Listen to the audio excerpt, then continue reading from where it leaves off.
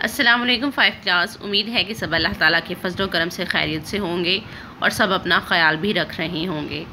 Five class कल हमने उर्दू के सबक नंबर नौ, हमारे पेशे के मशक़ी सवाल सवाल नंबर दो, ता पाँच, हल किए। आइए, आज हम बकिया मशक़ी सवालात हल करते हैं। लफ्ज़ों का खेल। सवाल नंबर छः, मिसाल के मुताबिक खाली जगह में मुनासिब हर्फ लिख कर पेशे का नाम मुकम्मल करें बाद अज़ा उन्हें अलिफ बाई तरतीब में लिखें। दर्जी, वकील, माली, फ़ौजी हजाम किसान। तो अलिफ बाई तरतीब का मतलब है यानी कि तरतीब के साथ जो हरूफ तहजी शुरू होते हैं, उन, उस तरतीब से अल्फाज लिखना। तो सबसे पहले आएगा हजाम दर्जी, फ़ौजी, किसान, माली और लास्ट पर वकील। कवायद सीखें। सवाल नंबर सात। मिसाल के मुताबिक दिए हुए अफ़ाल से फ़ाइल बनाएँ। फ़ेल की जमा है अफ़ाल और अफ़ाल से हम फ़ाइल बनाएँगे, यानी कि काम करने वाला बनाएँगे। जैसे कि लिखता। लिखता से लिखारी या लिखने वाला। खेलता। खेलने वाला या खिलाड़ी। धोता। धोबी या धोने वाला। ख़रीदता। ख़रीदने वाला या ख़रीदार, गाता, गाने वाला या गुलूकार, तैरता, तैरने वाला या तैराक। सवाल नंबर आठ ख़त कशीदा अल्फाज की तस्कीर तानीस को मद्देनज़र रखते हुए मुख्त फेल लिखकर जुमले मुकम्मल करें। सना तेज़ी से भागी और मुकाबला जीत लिया।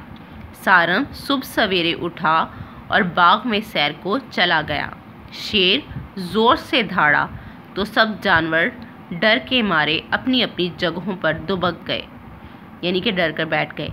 अम्मी जान मज़ेदार खाने पकाती हैं, राशिद रोज़ वर्जिश करता है। बिल्ली दीवार से सेहन में कूदी और चूज़ा ले उड़ी। सवाल नंबर नौ, दिया हुआ पैराग्राफ दुरुस्त तलफ़ और रवानी से पढ़ें और पूछे गए सवाल के ज़ुबानी जवाब दें। हज़ारों साल पहले इंसान जंगलों में रहता था।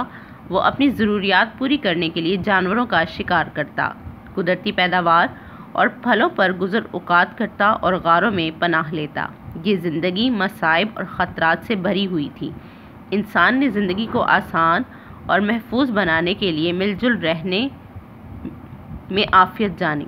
उसने बस्तियाँ बसाईं, मकान बनाए और खेती बाड़ी शुरू की। आहिस्ता आहिस्ता आबादी बढ़ने लगी तो ज़रूरियात में भी इजाफ़ा होने लगा। एक फ़र्द के लिए हर किस्म के काम करना मुमकिन ना था। इंसान ने अपनी सहूलत की खातिर काम तकसीम कर लिए। किसी ने गज़ा की ज़रूरियात पूरी करने का काम संभाला तो किसी ने कपड़ा मुहैया करने का काम अपने ज़िम्मे ले लिया।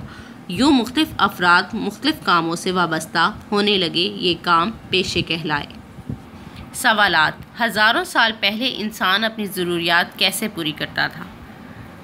जवाब, हज़ारों साल पहले इंसान अपनी ज़रूरियात पूरी करने के लिए जानवरों का शिकार करता, कुदरती पैदावार और फलों पर गुजर अवकात करता और गारों में पनाह लेता। नेक्स्ट देखें क्लास इंसानों ने ज़िंदगी को आसान और महफूज बनाने के लिए क्या तरीका अपनाया? इंसान ने ज़िंदगी को आसान और महफूज बनाने के लिए मिलजुल कर रहने में आफियत जानी। उसने बस्तियाँ बनाई, मकान बनाए और खेती बाड़ी शुरू की। अगला सवाल है, आबादी बढ़ने से क्या हुआ? आबादी बढ़ने से ज़रूरियात में इजाफ़ा होने लगा। पेशा किसे कहते हैं? इंसान ने अपनी ज़रूरियात को पूरा करने के लिए काम तकसीम कर लिए। किसी ने गज़ा की ज़रूरियात पूरी करने का काम संभाला तो किसी ने कपड़ा मुहैया करने का काम अपने ज़िम्मे ले लिया। यूँ मुख्तफ अफराद मुख्तफ कामों से वाबस्ता होने लगे। ये काम पेशे कहलाए। फाइव क्लास, सवाल नंबर छः ता नौ, अपनी किताब पर मुकम्मल करें और इसे याद करें। अल्लाह हाफिज़।